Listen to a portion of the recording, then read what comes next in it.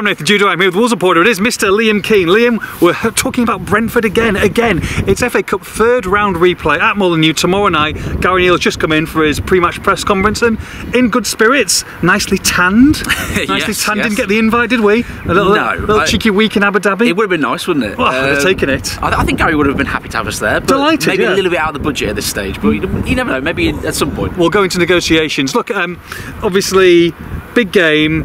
Could have done without the replay, I guess, but at the same time, how are things looking in terms of team? Yeah, so hopefully a little bit of good news. Um, the first and, maybe the biggest, no disrespect to the other players, is that Mario Lemina is back today. Didn't go to Abu Dhabi, but back today with the squad. Mm-hmm. Great news. Back in training.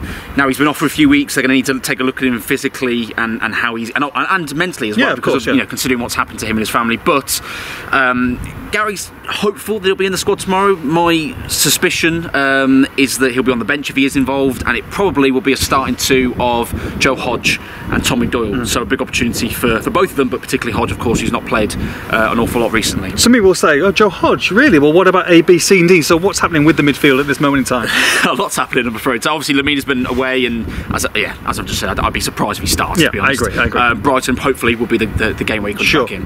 João Gomes is suspended. Um, Wolves didn't appeal. It's a three-match ban, um, so there's a lot of incentives to win this game because Mm. of the Albion game, but also because if Wolves do win, um, it means he'll only miss one Premier League game, which will Yeah. be that Brighton game. So uh, yeah, a lot of incentives for Wolves. But João Gomes is out.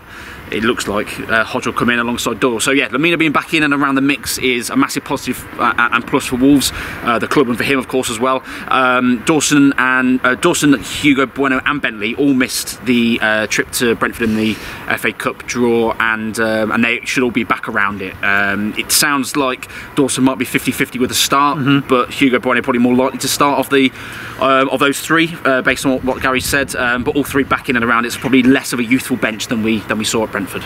Pedro Neto as well played and I thought had an excellent cameo at Brentford. Do we expect to see him from the start tomorrow? I'm a little bit torn on this one. Oh, I'm not Um, torn at all. I Let's see if we both agree. I sort of no, you, no, no, no. I'm paying you. I've got a million pounds. You've got to say one way or the other for to gamble that million pound. Otherwise, you get nothing. Well, the problem is I've already sent you um, my my picture and uh, and words for our predicted uh, lineup. Okay, Uh, I'm not- I'm and, not- and I've predicted he isn't in the lineup, so Okay. I'm gonna have to stick with that. Okay, I think Um, I think he's starting. I can see a lot of reasons. I think he's lot- getting 60 minutes. I can see a lot of reasons why he starts and gets 60 minutes, and to be honest, it probably will happen. The reason I haven't gone with it is that you've got one of these two things has to happen for Neto to start. Mm-hmm. Cunha either has to move from the left into striker, which they've been um, trying to avoid because Yes. they want him to play on that left side. S- understand that. and the other one is you drop Sarabia. I don't think either of those are particularly likely. The one that is likely is probably Cunha moving over into striker and Neto, Sarabia, and Cunha start together. Um, I think you can do all three. otherwise, you play You play four at the back. No, that's not going to happen. Okay. Otherwise, you play Bellegarde as a false nine, like Yeah. Mm-hmm, they started at Brentford before João Gomes got sent off, obviously. So, yeah, I can see a lot of reasons, and I'm leaning towards that. But I've decided to be a little bit different Okay. and say I'm gonna I'm gonna put him on the bench. Okay, put him on the bench. Um, I think, look, everybody wants to talk about West Brom, and in that press conference, every journalist wants to talk about West Brom. Gary O'Neil, as you can understand, and look, I think Gary O'Neil is very good in pre-match press conferences, and he words it very well. Of course, it's an incentive for them, and he didn't say it wasn't an incentive. and I think that will, he will use that in his pre-match team talk. However, they've got to look at Brentford because if they are under par against Brentford, they will lose this game. They've got to play and they've got to show signs. Hopefully, 11 versus 11 this time. Hopefully, not talking about exterior factors, but Brentford have got a lot of issues as well. Wolves are starting to get players back. Wolves should, with a, probably a stronger starting lineup than we saw at Brentford, win this game. But you cannot look past it. I agree with all that that they should win this game. The problem is a Brentford side, even weakened with a few injuries issues that, that, that they've obviously got. Uh, Ivan Toney's not back for them until after this game as well. They've still got a good side, and Yeah. they've got a good manager, and they're a Premier League team, um, and that's what Gary O'Neil kept coming back to. This is a, a Premier League team we've got to get past first before we go and play West Brom, who of course are not a Premier League team. So it's all, it's all. Uh, well, that was close. Um, yeah, I, I think Gary O'Neil approached it in a very intelligent way because you can't deny the excitement that is amongst the fan base, and you've got to approach it, especially when the questions are, are framed around it. But equally, you have to uh, make sure the players are aware. You've got to get past a team that is a decent side first. So. Um, you can't take your eye off that objective. Equally, it's quite exciting, isn't it? A potential Black Country derby. So I'll be I'll be gutted if Wolves don't win this one. When the um, when the draw came out for the fourth round, what what did you immediately do? Uh, well, I immediately tweeted it first. Okay, good, like that was the that, I like first thing I did. Um, I was watching it. I, I saw a load of people tweeting leading up to the draw saying, "Come on, please, ball number nine away, ball number nine away." It came at West Brom away. I thought, no, chance. I was watching with my family all in the room. Yeah. No chance. I could not. Believe, I was absolutely buzzing. So I tweeted it, and that was about it. That's what I did really. But I'm really excited. Wolves have to win this game. Yeah. have to win this game. It's a massive opportunity. The first thing that I did when I saw the draw for the next round is look when the fifth round draw is. That's no. That's poor. That. That, that, is a, that is a dangerous thing to say. It's not, it's not a guarantee. Because let's be honest, Win tomorrow night in the fifth round. let's be honest, Wolves have not got a good record. No, they haven't, but they'll, they'll, they'll, put some ghosts to bed. They'll some ghosts to I rest. It's fine. hope so. Oh, 100%. Uh, they're winning there. Um, right, let's go on to, I guess, the other main talking point. Um, I say it's a talking point. We've been pretty level on this for months and months. Wolves have, whether you believe it or whether you don't, whether you think there's ulterior motives at play, whether you don't believe us, it's fine. Um, Gary O'Neil's confirmed it there as well. There were, I guess there was some, some ridiculous transfer rumour rubbish page that um, got everybody panicking again. And this is FFP, Nottingham Forest and Everton look seem to be in a little bit more trouble. Um, Wolves, as Gary O'Neil says, and they've kept to they're, they're okay. Yeah, They've um, got constraints in January, of course they yeah. have, but at the same time, they've known this and that has not changed. Wolves are okay. yeah. As you mentioned, it's, the reports seem to be that um, Forest and Everton are expecting to find out today Mm-hmm. that they have breached. Now, the, the reason why it's phrased as expecting because they're expecting to hear from the Premier League, but they know what their accounts Sure, are. They of know what they've submitted course, to the yeah. Premier League, um, and of course, it's been leaked out there. So. Probably not a massive surprise based on what we've what we've heard of those two clubs. Um, what would have been a surprise would have been that Wolves would have breached it because of all the work they've done Mm-hmm. to avoid that.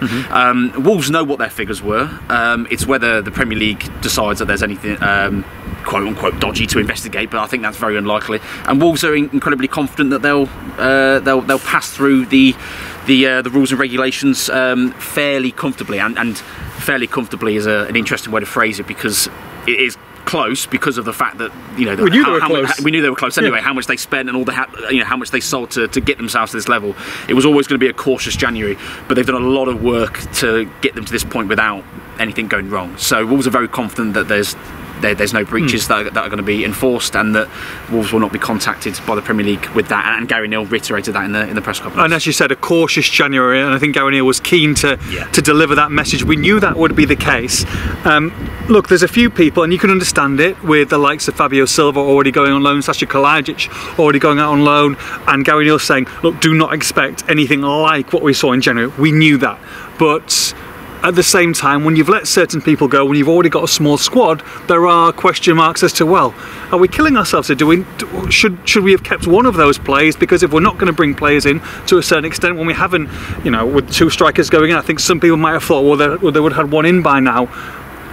Can you understand that frustration or a little bit of nerves there? I, I assume that they will bring in one or two, but it might be maybe you know in one or two or three weeks time depending on what dominoes fall i guess people thought that they would have a ready-made person ready to go and that's not the case is it? No, and it, it links back to a little bit of the Matt Hobbs statement from recently as well via Wolves' channels that January is a difficult month to do business and Domino's forward, the phrase you just used there is a, is a, is a good way of describing it because you've got to wait for other clubs to, to make deals that trickles down the leagues and players become available. And um, Wolves want to bring a player in that's going to impact the first 11 or at least be close to impacting the first 11 fairly quickly. And to get someone in from that, that a player like that from a club that maybe doesn't want to lose that player, and then, you know, there's a lot of things that have got to happen for a deal to be made. Um, Fabio going on loan was no surprise; No. it was going to happen straight away. sasha Fine. was though i think the Sasha- time of it it was the timing, yeah, completely, completely right. The timing of it was the the issue Hmm. because Wolves were very, pretty adamant they weren't going to send him on loan until they got a replacement in. gary said that three weeks ago Exactly. very adamant It then became very clear that they weren't going to get a replacement quickly, Mm-hmm. and for various footballing and human reasons, with um, Sasha's uh, wife heavily pregnant with their first child, they want to go back there and, and settle before um, she gives birth and before uh, you know. They, well, before all that kicks off and, and get back to playing football again. So, Wolves decided to make the decision to allow that to happen, partly for those reasons, but also because they've only got one Premier League game this month, uh, which is Brighton away on the 22nd. Uh, the United game got moved to February the 1st, which is transfer deadline day, so they've got a little bit more wiggle room in that regard as well. Um, as we described it at the time, and as I'll describe it again now, a little bit of a risk. I think Gary O'Neil probably would have wanted someone in before allowing him to go. I'm sure. Um, but he, he's fairly confident they'll bring someone in. Um, it's not going to be an exciting, jam-packed January full of signings like Sure. it was this time last year. But he's pretty confident they'll bring someone in and be able to do something. And what he did hint to, which we've said, and, and it wouldn't be no surprise, he hinted at loans.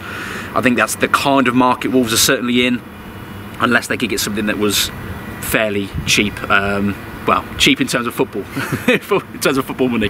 Um, so yeah, it's going to be interesting how it heats up in the next ten days to two weeks Yeah. or so.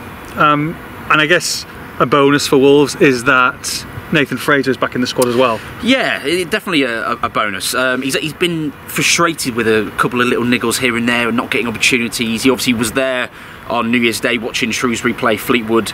Um, Shrewsbury are very interested in taking him on loan, as are a lot of other clubs. And Wolves, understandably, I think, were reluctant to let that happen until they know a bit more where they're going. Um, and Gary O'Neil also, as well, said that Fraser would have got chances um, up until his injury happened, uh, before his injury happened rather. So um, he'd have played probably a, a fair bit, particularly with Fabio being out of the picture um, up until uh, January. So yeah, one to watch. It's one that's going to drag on a bit into January. Do you think Fraser, who, who will probably be in the squad tomorrow night, I assume from the bench, Joe Hodge, we're expecting to start tomorrow night, but things could change very quickly for him at the end of the window where he could get loaned out. But at the moment, thank God he's still here because um, otherwise they would be in trouble, I think. So the fact that he's going to start, the fact he's going to have a look at him, but I expect that maybe later on it would be it would maybe one or both of those players looking to, to make a move. And also just to finish and maybe add on to that before you get, you address those two players, Yerson Mosquera, Gary O'Neil is having a look at him. Could he be one who, who might be able to, to move as well? Yeah, all three of them are very much question marks at the moment. They're the three that from the first team picture that could go on loan. Uh, it depends on incomings. It depends on firm interest with clubs. We know there's a lot of clubs interested in, uh, in Nathan Fraser. We know there's a lot of clubs interested in Yerson Mosquera. A lot of Championship clubs. Joe Hodge has been a little bit quieter in terms of concrete interest. There's definitely clubs that will be sniffing around, but in terms of con- concrete, uh, uh, you know, approaches to Wolves has been a little bit quieter. I think in an ideal world, you get all three of them out for game time, but you only do that if Wolves' squad is in a position Sure. where they where they can survive without them. Um, and, Mm-hmm. And they've right now, they're probably not. And they can't just think February, they've got to think March, April, Exactly. May. exactly. You know, there's a lot of games coming. There's a there lot of games to play. You know, you've got players like Tawanda Chirewa coming through. I know he's a, he's a different position to those three, but he's still a, a young player coming through. He's you know, clearly very talented. Got his debut. Mm-hmm. Those kind of players will ease the burden a little bit for Gary O'Neil. But I'm, I'm, I'm fairly confident that all three of those will drag on till pretty late in the window because Wolves have got to see again where the dominoes fall. Using that phrase again because it, it's not just incoming players; it's also outgoing players for Wolves. Let's finish with some predictions then. It is Wolves against it's Brentford tomorrow night. Liam Keen, what's the score? Oh, I tell you what. Did we do it? We didn't do a potty with the. No, we didn't. That's we? why. No. That's why we've done an extended video for the peeps. So, Although the potty is coming back Wednesday. 2 0 Wolves. Oh, 2 0 Wolves. Yeah, I'll go for it. Fairly comfortable. Wolves one. Brentford one. Oh, God. Does it is it extra time? Extra time penalties, yeah. Extra time. Wolves get it in extra time. 2 1 Wolves. Extra time. Long night for us. I feel a bit ill Long thinking night about that. Could you imagine the nerves just desperate to get through to that Black Country derby? Oh God! And the fifth round. Uh, Wolves beat Brentford for the post-match and pre-match reaction. Make sure you log on to expressthestar.com.